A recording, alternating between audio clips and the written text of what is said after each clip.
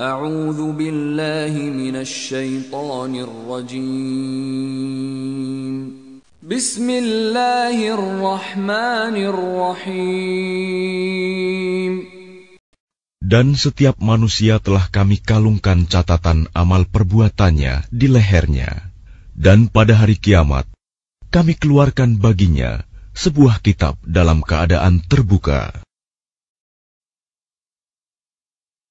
Dan diletakkannya kitab, lalu kamu akan melihat orang-orang yang bersalah ketakutan terhadap apa yang tertulis di dalamnya.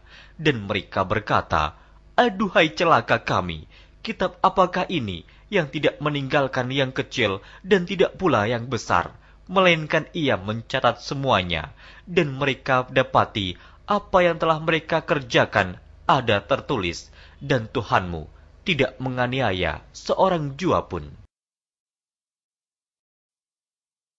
Sungguh, kamilah yang menghidupkan orang-orang yang mati, dan kamilah yang mencatat apa yang telah mereka kerjakan dan bekas-bekas yang mereka tinggalkan, dan segala sesuatu kami kumpulkan dalam kitab yang jelas, Lauh Mahfuz. Dan segala sesuatu, yang kecil maupun yang besar, semuanya tertulis.